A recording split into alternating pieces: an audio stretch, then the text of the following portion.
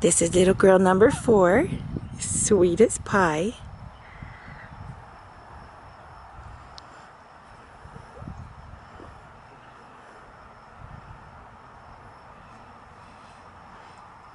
Crawls right in your lap.